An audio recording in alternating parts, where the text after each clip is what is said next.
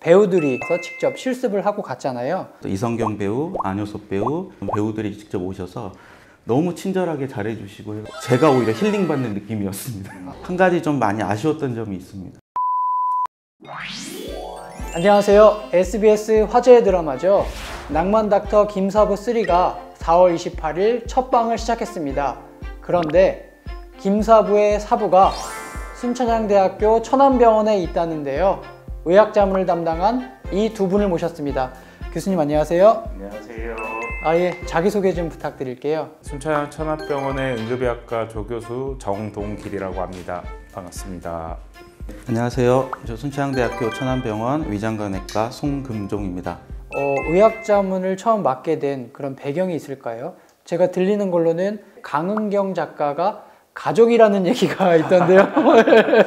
부끄럽지만 혈연. 네. 아, 교수님이시군요. 저희 사촌 누님이 이제 강은경 작가님이시고요. 사촌 누나한테 제가 이제 식사 자리나 이런 데서 예. 밥 먹으면서 항상 얘기를 했어요. 하, 누나, 내 얘기를 찍으면 그게 드라마야. 물론 이제 누나도 그 전부터 이제 의학 드라마를 하고 싶어 했었는데 시즌 3까지 할 정도로 일이 커질 줄 몰랐죠.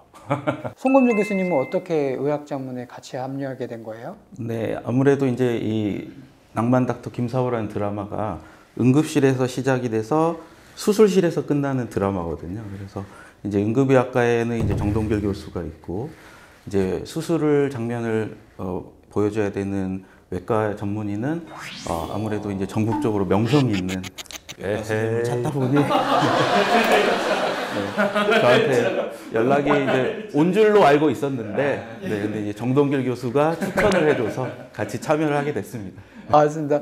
시즌 1부터 3까지 그러면 모든 시리즈를 다 의학 자문으로 해 주신 거잖아요.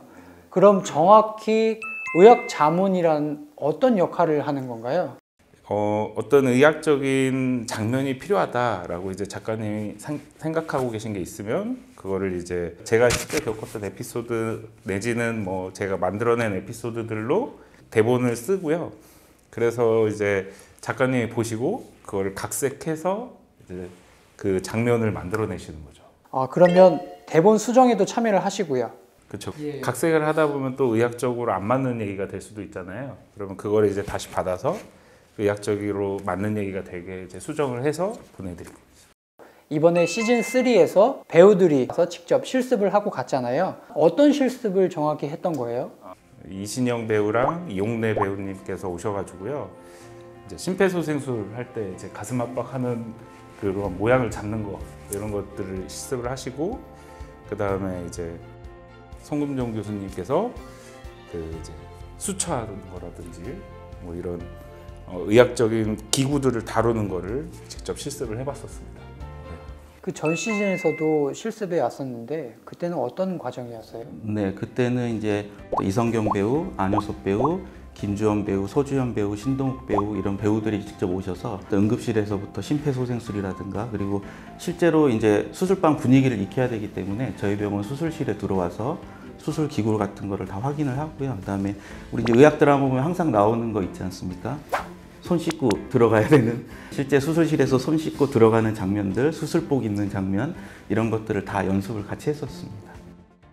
손 교수님은 이성경 배우 옆에서만 처음 보고 정말 깜짝 놀랐습니다. 그때 뭐 거의 노 메이크업으로 오셨었는데 너무 뭐 TV에서 보는 것보다 훨씬 더 예쁘시고 그리고 이 배우라는 그런 분을 이제 만났을 때 저희가 약간 경직이 되고 좀 그러는데 너무 친절하게 잘해주시고 해가지고 거의 어, 제가 오히려 힐링받는 느낌이었습니다. 아, 드라마와 실제 모습에 차이 같은 거는 뭐 느끼는 건 없으세요?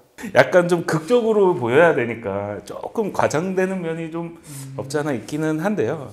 뭐 그렇다 치더라도 제가 감수하면서도 그렇고 최대한 실제 의료 현장의 분위기를 전달해드리고자 많이 노력을 했거든요. 근데 다행히 연기자분들도 그런 부분에 맞춰서 잘 연기를 해주셔가지고요.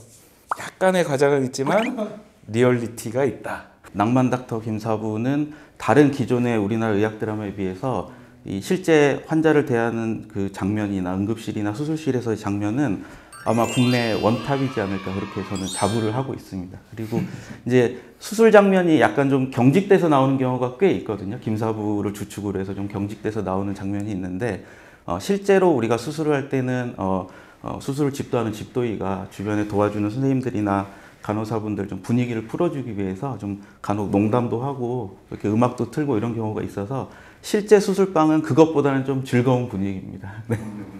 아쉬웠던 부분이 있다고 하셨던데 어, 떤 부분이 좀 아쉬웠을까요? 저는 이제 그 드라마 방영을 할 때 제가 나오는 드라마는 아니지만 시청률도 체크하고 기사도 다 보고는 하는데요.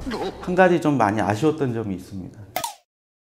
이 드라마를 우리 병원에서 우리 심천한대학병원에서 촬영을 했으면 얼마나 좋았을까 이런 생각을 많이 하게 되거든요. 맞습니다. 올해 말부터는 아마도 가능하지 않을까 싶습니다.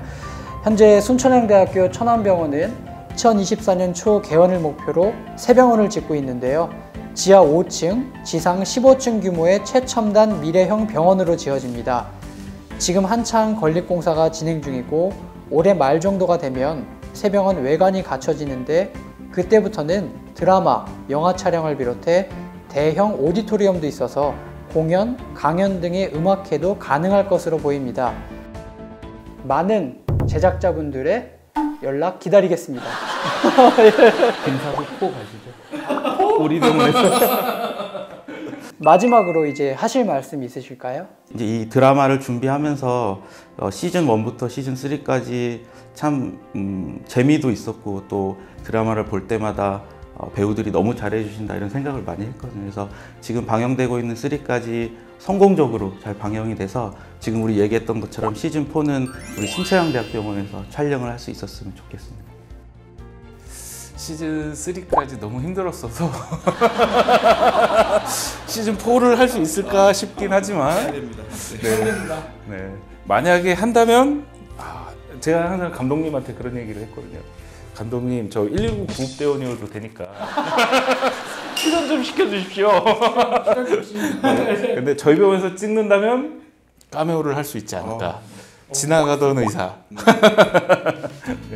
예, 좋습니다.